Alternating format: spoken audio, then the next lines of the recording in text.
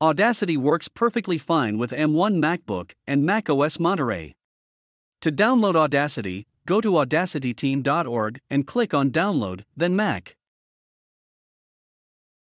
Download will start automatically, and you will see a counter here. Download has started and it will take a moment to complete. After downloading finishes, click on Show in Finder. You will get to the location and can see the Audacity DMG file. Double click and a pop up will appear. From this pop up, drag the Audacity icon to the Applications folder. I had previously installed Audacity, so asking me to confirm the replacement. If you are installing for the first time, you won't see this message.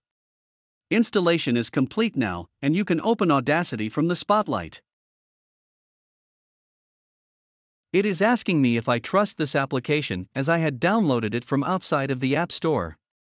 Click Open and Audacity will be opened. You will be asked for Rosetta installation if Audacity is the first Intel based application in your M1. Click Install and things will work behind the scenes. So you will be able to use Audacity now, and it will work perfectly. Thanks for watching, and I hope you have no confusion whether Audacity works on Apple M1. See you in the next video.